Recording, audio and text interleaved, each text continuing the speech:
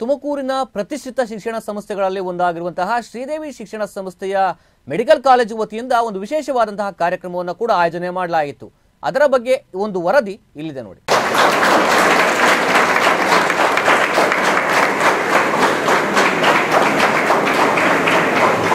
For uh, water. Tumakuru ನಗರದ ಶಿರಾ ರಸ್ತೆಯ ಶ್ರೀದೇವಿ ಶಿಕ್ಷಣ ಸಂಸ್ಥೆಗಳ ವೈದ್ಯಕೀಯ ಕಾಲೇಜು ಮತ್ತು ಎಂಜಿನಿಯರಿಂಗ್ ಕಾಲೇಜುಗಳಲ್ಲಿ advance medical skill and simulation, centre of excellence in emerging technologies, idea lab ಮತ್ತು ತಾಯಿ ಶಿಶು ಆರೋಗ್ಯ ಭಾಗ್ಯ ಯೋಜನೆಗಳನ್ನು ನವೆಂಬರ್ ಹತ್ತರಂದು ಸಂಜೆ ಆರು ಗಂಟೆಗೆ ಉದ್ಘಾಟಿಸಿದರು. ರಾಷ್ಟ್ರ, ರಾಜ್ಯ ಸ್ಥಳೀಯ ಸುದ್ದಿಗಳ ಕಂಪ್ಲೀಟ್ ಅಪ್ಡೇಟ್ಗಳಿಗಾಗಿ ಈಗಲೇ ಪ್ರಗತಿ ಟಿವಿ ಡಿಜಿಟಲ್ಗೆ ಸಬ್ಸ್ಕ್ರೈಬ್ ಆಗಿ ನೋಟಿಫಿಕೇಶನ್ಗಳಿಗಾಗಿ ಬೆಲ್ ಐಕಾನ್ ಮೇಲೆ ಕ್ಲಿಕ್ ಮಾಡಿ.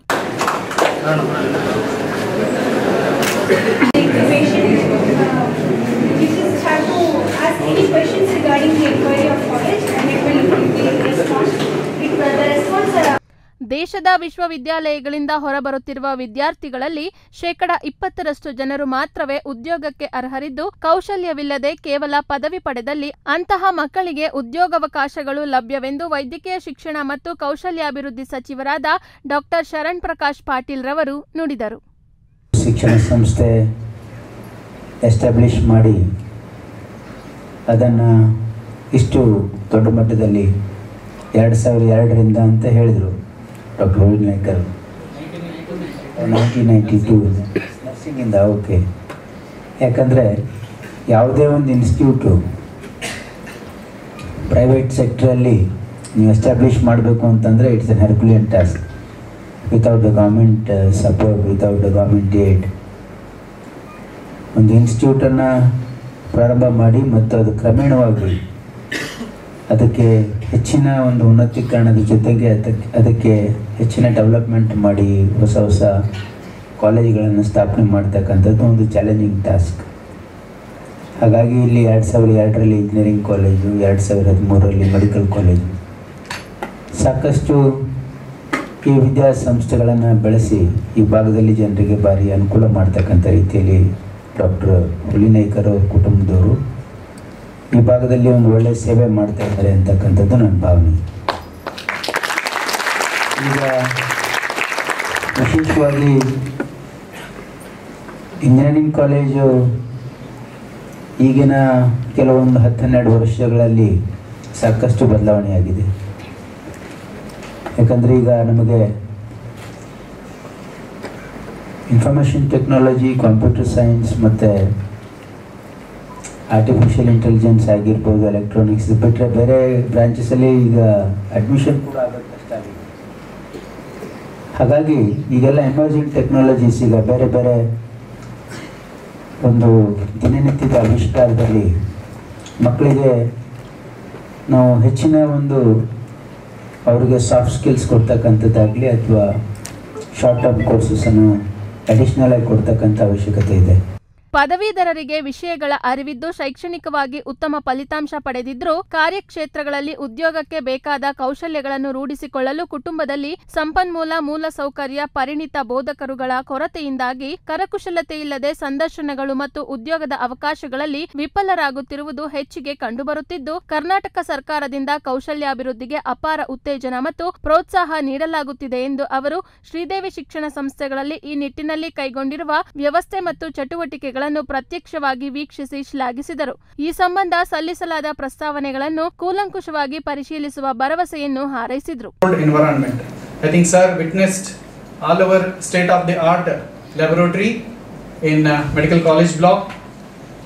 uh, and he also saw a live demo of uh, anatomies and uh, mannequins where which are the uh, state of the art uh, equipments and instruments used to train our students not only students uh, different segment of society maybe uh, basic life support training for uh, fire workers, policemen, and a security personnel, a 108 uh, ambulance care technician, a nurse will help them to handle the situation in uh, where there is a time is like a golden hour, uh, time is having a lot of scarcity. They will be trained in those aspects.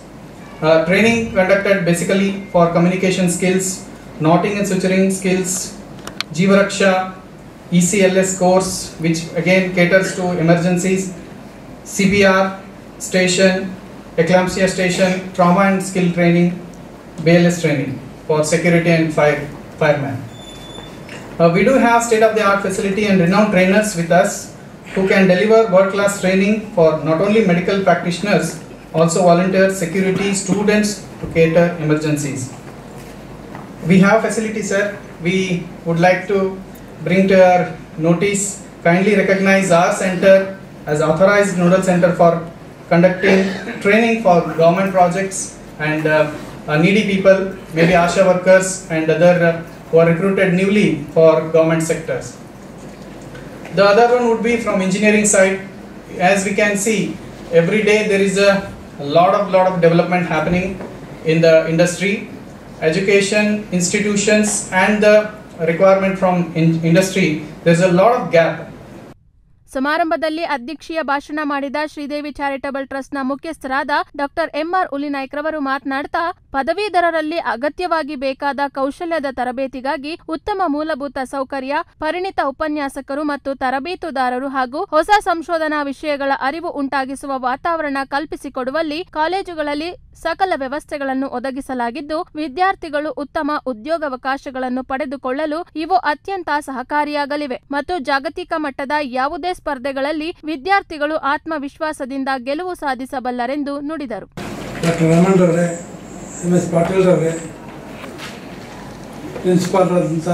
Doctor Harendra Kumar ಅವರೇ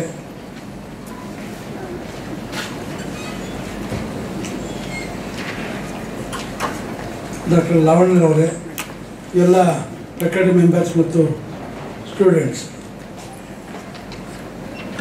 doctor Sharan Prakash Patil ಅವರು ನಾನು ಭಾಳಷ್ಟು ವರ್ಷಗಳನ್ನು ನೋಡಿದ್ದೇನೆ.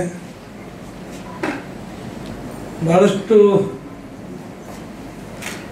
ಪ್ರಾಮಾಣಿಕವಾಗಿ, ಶಿಸ್ತುಬದ್ಧವಾಗಿ,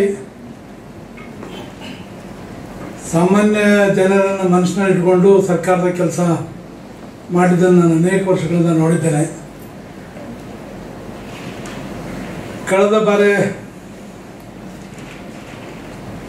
medical education minister ಆದಾಗ ನಮ್ಮ ಅನೇಕ ಸಮಸ್ಯೆಗಳ ಜೊತೆ, ಅವ್ರ ಜೊತೆ ಸಂಪರ್ಕದಲ್ಲಿದ್ದಾಗ ಭಾಳಷ್ಟು ಸಹೃದಯದಿಂದ, ಪ್ರೀತಿಯಿಂದ ನಮ್ಮ ಸಂಸ್ಥೆಗೆ ಅನುಕೂಲ ಮಾಡಿಕೊಟ್ಟದ್ದನ್ನು ನಾನು ನೆನೆಸ್ಕೊಳ್ತಾ ಇದ್ದೇನೆ.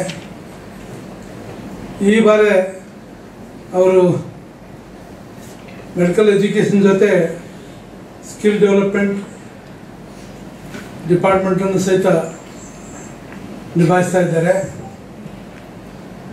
ಅದು ಅವರು ಪ್ರತಿಯಲ್ಲಿ ಡಾಕ್ಟರ್ ಆಗಿ ಮತ್ತು ಅನೇಕ ವರ್ಷಗಳ ಅನುಭವದಿಂದ ಮೆಡಿಕಲ್ ಎಜುಕೇಷನ್ ಅಂತೂ ಭಾಳಷ್ಟು ಶಿಸ್ತಿನಿಂದ ನಡೆಸ್ತಾ ಇರುವಂಥದ್ದು ಮತ್ತು ಪಾರದರ್ಶಕವಾಗಿ ನಡೆಸುವಂಥದ್ದು, ನಮಗೆಲ್ಲ ವಿದಿತವಾದಂಥದ್ದು ಈ ಸ್ಕಿಲ್ ಡೆವಲಪ್ಮೆಂಟ್ ಮತ್ತು ಎಂಟರ್ಪ್ರಿನರ್ಶಿಪ್ ಲೈವ್ಲಿಹುಡ್ ಡಿಪಾರ್ಟ್ಮೆಂಟು ನಿಜವಾಗಿ ಅದೊಂದು ಚಾಲೆಂಜ್ ಇದೆ ತಾಯಿ ಶಿಶು ಆರೋಗ್ಯ ಭಾಗ್ಯ ಯೋಜನೆಯಡಿಯಲ್ಲಿ ಕೈಗೊಂಡ ಆರೋಗ್ಯ ಸಂಬಂಧಿ ವಿಚಾರಗಳ ಬಗ್ಗೆ ಶ್ರೀದೇವಿ ಮೆಡಿಕಲ್ ಕಾಲೇಜಿನ ಉಪ ಪ್ರಾಂಶುಪಾಲರಾದ ಡಾಕ್ಟರ್ ರೇಖಾ ಗುರುಮೂರ್ತಿ ಅವರು ಬಾಣಂತಿಯರಿಗೆ ಒದಗಿಸಲಾಗಿರುವ ವಿಶೇಷ ಸೌಲಭ್ಯಗಳನ್ನು ವಿವರಿಸಿ ಮೆಡಿಕಲ್ ಕಿಟ್ಟುಗಳನ್ನು ವಿತರಿಸಿದರು. ಶ್ರೀದೇವಿ ಇಂಜಿನಿಯರಿಂಗ್ ಕಾಲೇಜಿನಲ್ಲಿ ನಡೆಸಿದ ಹತ್ತು ದಿನದ ಸ್ಕಿಲ್ ಕಾನ್ಕ್ಲೇವ್ ಕಾರ್ಯಕ್ರಮದಲ್ಲಿ ನಡೆಸಿದಂತಹ ಹ್ಯಾಕಥಾನ್ ಮತ್ತು ಇಂಡಿಯಾಥಾನ್ ಸ್ಪರ್ಧೆಗಳಲ್ಲಿ ವಿಜೇತರಾದ ತಂಡದ ವಿದ್ಯಾರ್ಥಿಗಳಿಗೆ ಬಹುಮಾನವನ್ನು ವಿತರಿಸಲಾಯಿತು.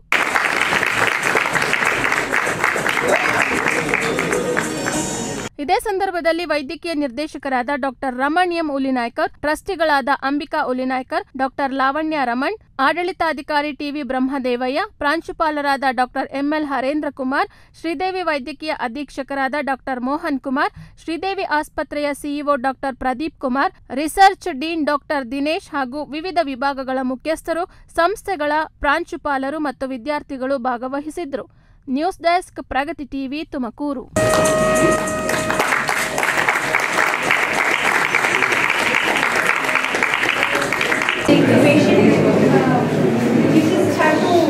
any questions regarding the inquiry of college and it will be response.